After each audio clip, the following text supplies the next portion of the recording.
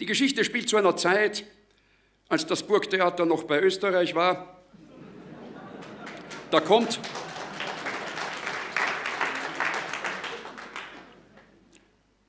Da kommt zur Abendkasse eine ältliche, weißhaarige Dame und fragt schüchtern, Bittchen, ich war noch nie im Burgtheater. Was spielen Sie denn heute? Was ihr wollt, gnädige Frau. Wirklich? Nur dann wünsche ich mir das weiße Rösel. Humpelt also über die Bühne, kommt wieder raus, humpelt über die Bühne, kommt wieder raus, da hört man es von unten. Hopp auf, Hatscher, der letzte Runde. Sie sitzen hinter diesem Tisch. Der Tisch, passen Sie mal auf, der Tisch trennt Sie gewissermaßen von uns. Nicht? Also, Sie müssen sich vorstellen, der Tisch macht Sie unnahbar. Nicht? Also, der Tisch ist in der An sich-Situation des Geschehens sozusagen im So-Sein transveabel eingebettet. Nicht? Also, der Tisch symbolisiert gewissermaßen darauf, Edhofer, bitte sagen Sie es an Tisch.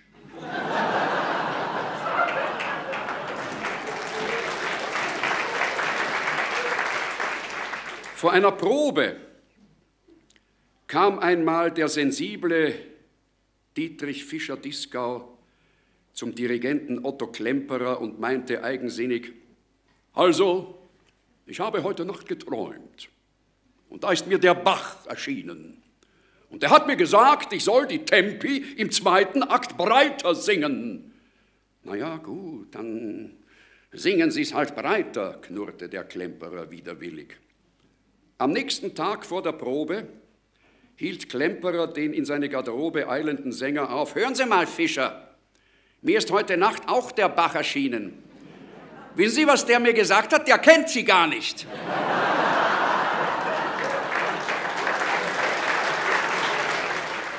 Er klopfte an,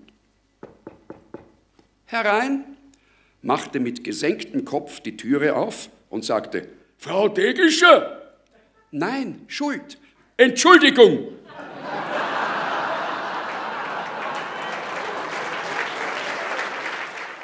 Ben Yusuf war ein Türkensohn, berühmt für seinen Bariton. Er liebt die Sklavin Mascha im Harem eines Pascha. Der Pascha wieder war Tenor, weshalb er Maschas Lieb verlor, denn so eine Naive liebt stets beim Mann das Tiefe. Einst lag sie auf dem Sofa schon, da hört sie Yusufs Bariton. Mit Mut, mit Wunderbarem schlich er sich in den Harem. Er wusst, sie liebte Bariton, drum, weil sie auf dem Sofa schon und weil er dacht, sie schliefe, ging er gleich in die Tiefe.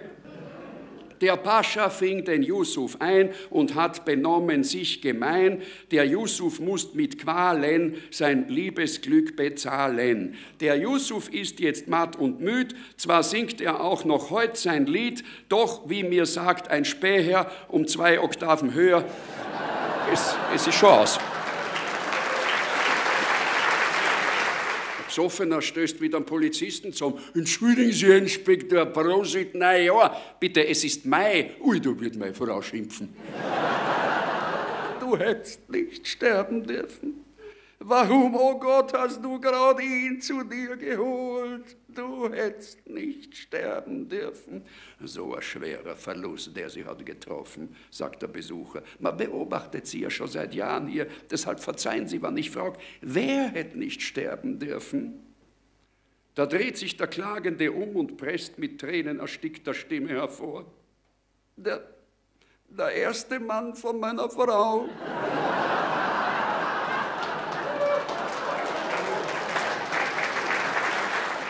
David Feinstein liegt in den letzten Zügen, da flüstert er plötzlich seiner Frau zu, Rosi, zieh an dein Seidenkleid, nimm die schöne Brosche und deine Ohrringeln und die Perlenkette. Aber Dovidl, mein Geliebter, schluchzt die Frau, gerade in so einem Moment, gerade in so einem, flüstert der Sterbende.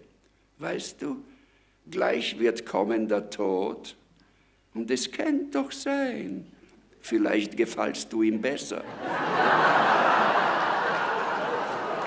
Wann in Wehren ein Talent an vorn lässt, ist ein Künstler. Wenn ihn wer ein Künstler an vorn lässt, ist Kunst. Wenn ihn wer die Kunst anfahren lässt, ist Kultur. Darum geht auch immer der Wind in der Kulturstadt.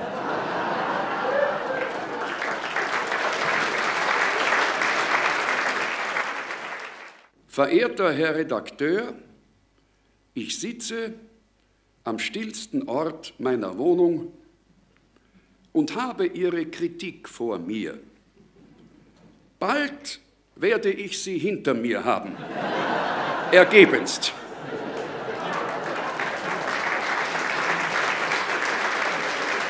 Was uns wird gesagt, ha, alles in Ordnung, gell, lustig wenn, na kann man eh nichts sagen. Na, ha, was ja wirklich leibert, hat mich eh fast angewiesen. Na, wollte ich dir nur sagen, gell, nichts für ungut, Herr Knasterneck, habe ich die Ehre. Da weiß man, wofür man spielt.